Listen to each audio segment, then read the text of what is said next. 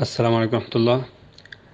ایک سوال یہ آیا ہے کہ کچھ لوگ اپنی برادری کا نام تبدیل کر لیتے ہیں یعنی جس برادری سے ان کا تعلق نہیں ہوتا، اس برادری کی طرف اپنے آپ کو منسوخ منسوخ کر دیتے ہیں۔ جیسے کوئی شیخ نہیں ہے تو شیخ برادری کی طرف اپنے آپ کو منسوخ کر دیتا ہے، شیخ لکھنا شروع کر دیتے ہیں اپنے نام کے ساتھ۔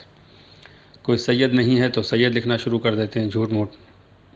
کوئی جو ہے وہ پٹھان نہیں ہے، خان لکھنا شروع کر دیتے ہیں۔